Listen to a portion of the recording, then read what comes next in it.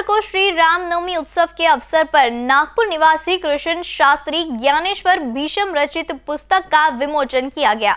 शिरडी साई की आरती रचने वाले और साई नगरी में साल 1912 में पहला रामनवमी उत्सव कीर्तन करने वाले नागपुर के कृष्ण शास्त्री जागेश्वर भीषम के जीवन पर आधारित चरित्र ग्रंथ का गुरुवार को विमोचन किया गया।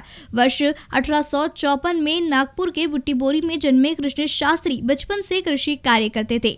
वर्ष 1904 से 1908 तक वह डॉक्टर खान खोजे रामलाल बाजपेयी सहित कई देशभक्तों के साथ रहे। इस दौरान उन्होंने अंग्रेज़ी के खिलाफ गुप्त रूप से काम किया। इस दौरान ये राष्ट्रीय स्वयं सेवक संघ के संस्थापक डॉक्टर हेडगेवार, डॉक्टर मुंडे गोपाल राव ओगले, भैयाजी कावरे, विश्वनाथ केलकर आदि के करीब रहे। क्रांतिकारी राजगुरु सैंडर्स को मारने के बाद वर्ष उन्नीस के आरंभ में माह पर भीषम के घर पर ही रहे।